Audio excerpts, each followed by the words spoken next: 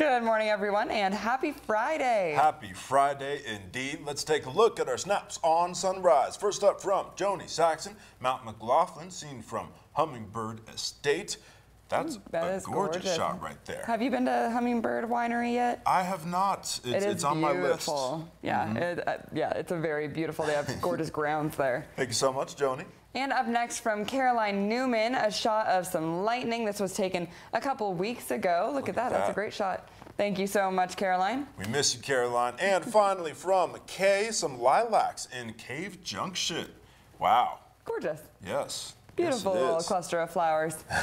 Thank you so much, Kay. And that's it for our Snaps on Sunrise. We always love seeing your awesome pictures, so please keep sending them in. Just send them to us using Facebook, Instagram, Twitter, or our email. And remember the hashtag Snaps on Sunrise. Your next half hour of news starts right now.